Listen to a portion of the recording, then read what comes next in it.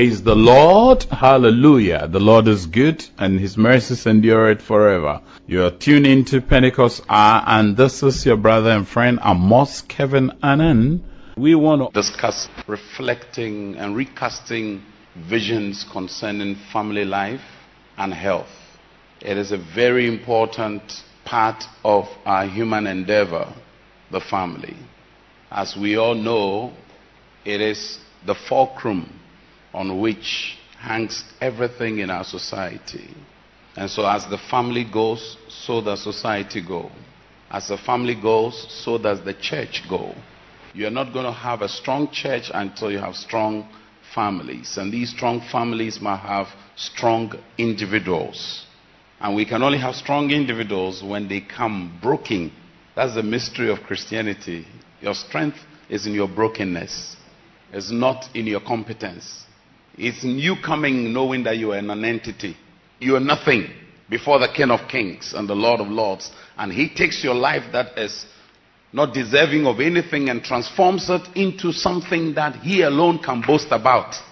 That is why anyone who comes before God cannot boast in their credentials because all our credentials must fall at His feet, not at His loin, at His feet. May God be gracious unto us. Well, managing conflicts. Can we ever finish fighting? Can we ever finish fighting? Would conflicts ever cease being part of human endeavor? Well, the Soweto boys in South Africa put together a beautiful song. Uh, Lord, make us instruments of your peace. Where there is hatred, let your love increase. Where there is pride and prejudice shall cease. When we are instruments of your peace. Where there is hatred, we will show his love. Where there is injury, we will never judge. Where there is striving, we shall speak his peace. To millions crying for release, we will be his instrument of peace. Where there is blindness, we shall pray for sight. Where there is darkness, we shall shine his light. And where there is sadness, we will bear their grief. To the millions crying for relief, where we will be instrument of peace. Shall we pray? Our Heavenly Father, we thank you for this moment of grace. We are all products of your grace and therefore we are mindful that nothing of ours have we accomplished except that which was given us. And as we speak to the subject of managing family conflicts, these feuds may have been with us generations. Others have been recent phenomenon. Others we cannot tell when they will emerge. But whatever it may be, we know that it is well. For all things work together for our good because we are called according to your purpose and we do love you. Be gracious to us this morning. In Christ Jesus' name, amen. Well, I was checking out the meanings of manage, family, and conflict, and I got some interesting discoveries. Life is all about discoveries. We're seeking to manage family conflicts. And some of us may be dealing with conflicts that predate us. Predate us. Sometimes in marriage and family life, you find people fighting their father's battles. and Unfinished agenda. And that cascades into their marriages. And whilst within the marriage, they are fighting the shadows of their father, fighting the shadows of their mother or grandparent. Some of them they might not have even had close encounter with. Sometimes the conflicts are something we ourselves have engineered. And sometimes the conflicts we cannot be able to diagnose properly to determine where it had come from. The first time I was invited to speak to the issue of conflict in a general sense of not dealing with it at individual levels but at the corporate body of church members was at Zoe Temple, where I was asked to speak to the subject of creatively handling conflict. But today is about managing family conflict. Well, manage to handle or direct with degree of skill, mm. to treat with care, to exercise executive, administrative, or supervisory direction. That's very interesting. I remember Koko Hatchful speaking to us on time management many years ago. He said the planned and controlled use of time is time management. By putting together the resources of controls that eliminate time wasters in order to be able to optimize the time available to achieve expected ends. And so we've got to plan and we've got to control. So in management, there's both the planning aspect and there's the control mechanisms that we put in place. Okay, that presupposes that conflict would arise. Family. In the context of human society, a family deriving from Latin word familia, a group of people affiliated by a very strange word that they put there. It says consanguinity. Simply means recognized by birth. An affinity by marriage or co-residence or shared consummation or consumption. That is kinship. Members of the immediate family include spouses, parents, brothers, sisters, sons, and or daughters. Members of the extended family may include grandparents, aunties, uncles, cousins, nephews, nieces, and siblings who are also in-laws. However, this focus is going to be on the nuclear one, the small unit. Because if we are to deal with conflict that arises in the broader sense of family, we won't live here. As a basic unit for raising children, five different kinds of families have been identified. First is what they call matrifocal. This is where a mother and a child or children live together. What many will call single parent home is also a nuclear one. Conflicts could arise. There is a conjugal where there is a husband, wife, children, and also sometimes referred broadly as nuclear family. Many people, when they say nuclear, this is the one they're talking about. There's also patrifocal, which is where father only exists with the child or children. Then there is what they call the avuncular, for example, where grandparents, and many, many homes in Ghana, we have grandparents living with the children. Grandparents, a brother or sister, and their children or child are living with yours. And some of us may have had those experiences before. And this is where favoritism sometimes comes. They get two portions of meat and you get one portion of meat and you are crying. But today we are told, take less meat. So it means that you are being prepared for a good life. Little did you know. then we have the extended family where parents, children co-reside with others who may or may not be related by blood. Okay? Then there's the blended family. That's the new one. That's the most recent one. Blended family. You have all kinds of uh, blend, a blend. You know the blender. You blend. You blend different categories. And some, one child was brought from somewhere, another from somewhere. Someone was adapted. Somebody was integrated. Others were grafted. You know, all kinds of, it's a blend. Just take it like that. Conflict will arise when people are jostling for power, control, and to assert themselves within a small space. And oftentimes in a trotro, when one seat is available, you see two people jostle each other. That's a form of conflict. It's not as volatile as some conflicts where somebody will smash a screen. Four years ago, I started with a young man. Those are the days people have started buying flat screens in some places. Very prominent individual. And he got so infuriated with the wife because they were trying to watch two channels.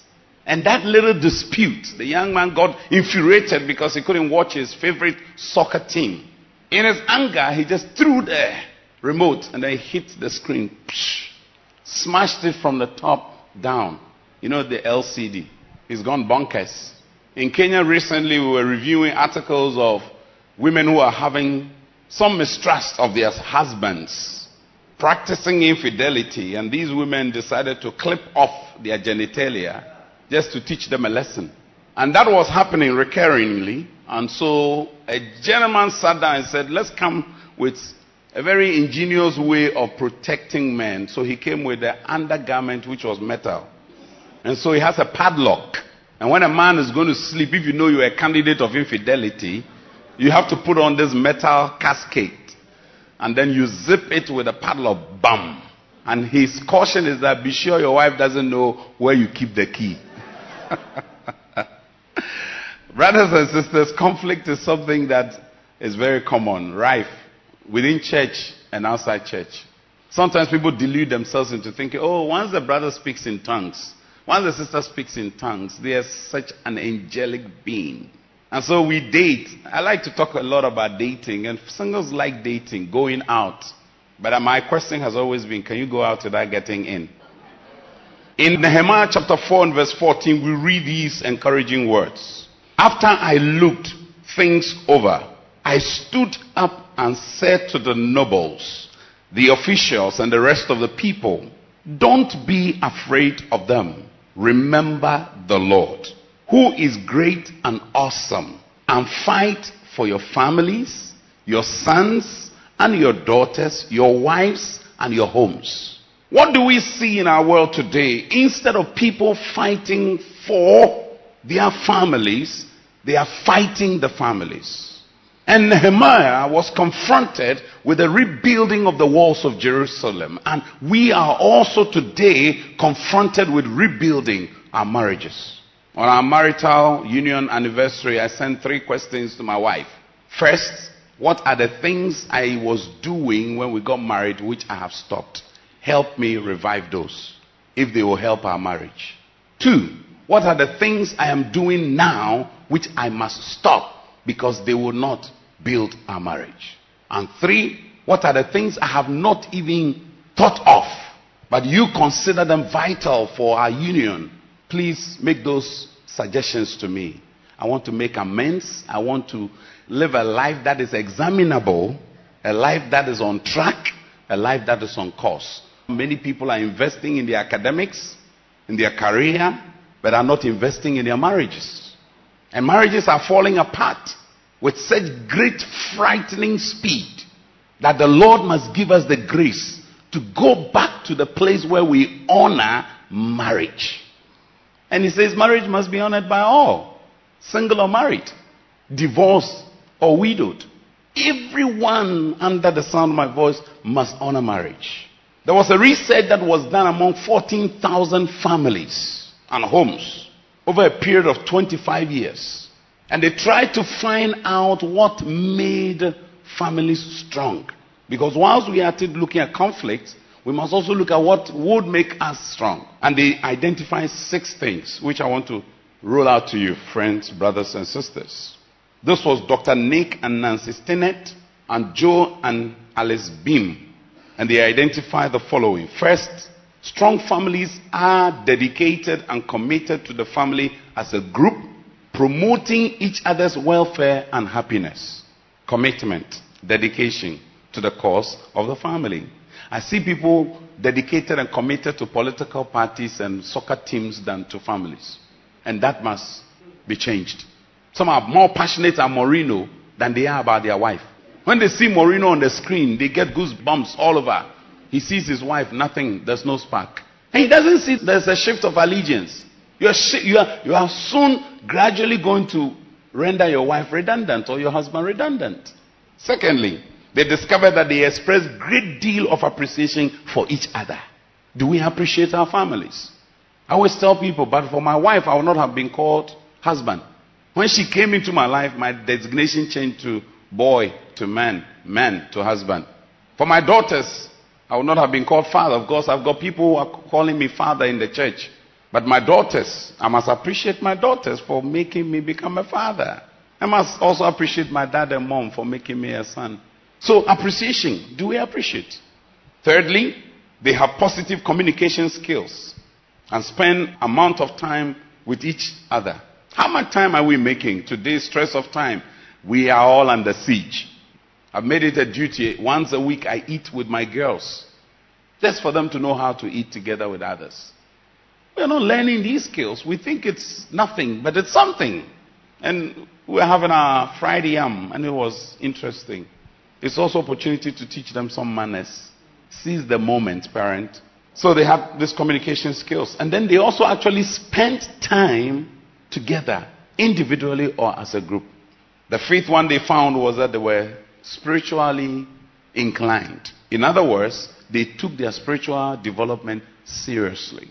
And finally, they had an ability to cope with stress, conflict, and crisis. And this is why this is important for us. In the book of Genesis, we read in Genesis chapter 3 from verse 12 and 13, in the English Standard Version of the Bible, it says, The man said, The woman whom you gave me, she gave me the fruit of the tree and I ate. Then the Lord said to the man, What is it that you have done? The woman said, The serpent deceived me and I ate. Clear manifestation of conflict. When the divine conflict occurred, where man violated his relationship order with God, it affected his human relations. I always see a correlation between people's inclination towards God and how they treat human beings. And so when you find somebody declining in their relationship with mortals around them, check how he's standing with God. Check that one. If I'm numb towards the things of God, I'm surely going to be numb towards human beings and treat them as though they don't exist. May God be gracious to us. Now you read further in chapter 4, verse 9 and 13. Cain spoke to Abel, his brother, and when they were in the field, Cain rose up against his brother Abel and killed him. Then the Lord said to Cain, Where is Abel, your brother? Listen to his response. He retorted, literally. He said, I do not know. Am I my brother's keeper? The order has been distorted and it started from the parents. It started with parents. That is why in the family setting, everything rises and falls with parents. Did you hear that? How many parents do we have in the church? I remember speaking in one international school and a young lady, I was talking to them about the importance of preserving your sex life till you marry. And one young fellow stood up and said, is marriage necessary today? And she's only 16. I got interested in the subject that she had raised. I responded, of course, but I later wanted to meet her. And when I met her, she said to me, something happened at home. My proprietor gave me a book which I took home and I forgot to return it. So she asked her driver to send me back home. And when we got there, my dad, who actually left home way ahead of us, was back home because his vehicle was parked in the yard. And I quickly ran up, went to pick the book, and wanted to say hi to that. Apparently, his mother's best friend was in bed with the dad. She chanced upon both of them and screamed the father's name and walked out. That was not the first encounter she had. She had previously caught the mother kissing one of her father's best friends. Not kissing, not a hug, not a peg, kiss. What sometimes they call cunnilingus. Kissing. For real. And so those young girls beginning to re-examine the viability, the essence, the value, the weight of marriage. And this was a woman, whenever their mom was away, will come as a stopgap measure. Cooking for the children, doing stuff and sure and this is the mother's best friend they go way back from school days such is common to families. I listened to a radio conversation of a prophet releasing salvos against his own wife and describe her in words i cannot repeat. And he was called a prophet. One of my girls who works for an agency that monitors people's spouses in ghana here. And she was hired to be on the same flight with somebody's husband as a stalker. Recording every move of this man. And she checked into the same hotel this man checked in. The woman was willing to buy an air ticket, book an expensive hotel for this stalking young lady to monitor the movement of her husband. Mistrust. I've read about children and young people smearing their parents on Facebook. I witnessed a case where a daughter snatched her own mother's husband. Own mother's husband. She moved the mother to the back house and she and her father, biological father, were living in the main house. My question to you is that if you have a family, is your family a torture chamber or a tendering camp? Some families have become torture chamber. There is one ton abuse. Fathers sleeping with their own daughters I work as a counselor. I've worked with young people the last 26 years. Sat very much close proximity with young people, sharing and pouring their hearts. I've sat with young ladies who say, I can't trust anything called man. I just can't. My most recent one was somebody who said, I can't trust a pastor. And I said, why? He said, I've dated two pastors. And they're all married men. They are heavily anointed. My best friend, two weeks before her wedding, the pastor had sex with her. And the pastor had the courage to bless the marriage. And now this young lady, whenever she's having any intimate encounter with her husband, she will scream the pastor's name. Now that's how devastating these things can get. There are people who, if they were able to speak, will share deep things of their heart. The pain and the weight.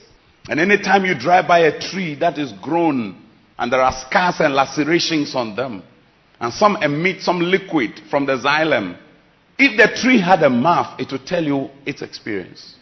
And there are people with scars, emotional scars, psychological scars inflicted upon them by people within the confines of the family, which is supposed to be an environment for tendering. We tender, we nurture, we grow, we groom, we make sure it becomes better. That has become for some a torture chamber. May God spare us. The nature of conflict. Have you ever had a conflict situation where you are sitting to resolve and it becomes more chaotic than your original intent? What is the nature of conflict? First, conflict is normal. It's normal. It's something that happens within our human society, within our environment. Secondly, it is a natural occurrence. Whenever there's turf war, people jostle for place and power, influence, values. All these things are part of it. It is also neutral. Don't blame the conflict on anybody. Conflict itself comes as a neutral entity. It is how you put the conflict situation to work that determines the outcome. And I found this beautiful quote by Bobby Conway. He says, I think a lot of people would rather jump out of a moving car than communicate and face reality. In 2 Samuel chapter 13 verse 21 and 22 from the English Standard Version of the Bible, we read the following words. When King David heard all these things, he was very angry. Very angry. One of my favorite subjects to teach is anger management skills. There are too many individuals who get angry and don't know what they do with their anger. One deaconess of one of our congregations, whose husband was not a believer and was a deep drunkard, and would always get drunk and come behave in ways unimaginable amongst human beings. And this woman will stand there and insult this husband from head to toe in their local dialect. And the man grew hardened like a flint to the insult. You know, when somebody does something over a period of time, I fortunately went to Koforidua Sectec and there, I mean, if guys got used to caning, they would just come 15, 20, just receive pa pa pa pa pa pa. He walks away. He shrugs off the everything. And then teachers will call, hey, come, come. Have you loaded? Say, no, no, nothing. Say, remove it. Now they want to hit it on your bare buttocks. And this man had also gotten used to the local language insults, and now the woman had to change to second gear. And so now she insults this husband in the local language, and now speak in tongues. Tongues, oh, tongues, tongues. This one is tongues of fire, not tongues of redemption. Not speaking mysteries, raining abusive mystery. Now, from the narrative which I heard from one of my apostles who's retired, Noble Kwame Achu, he said that this man got used to the tongues as well. And now, whenever this woman insults from the local language into the tongues, the man will just stand there and laugh.